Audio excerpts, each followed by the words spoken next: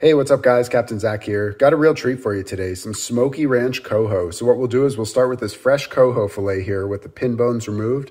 Then, we're going to melt down some salted butter and use a brush to just brush that butter all around the surface of the filet. Then, we're going to give it a good coating of this uh, Hidden Valley Ranch seasoning, which is a nice, strong seasoning. That goes right to the pellet grill with some alder pellets at 165 until the internal temperature hits 140. So, that'll be about three hours. This is going to be unbelievably delicious.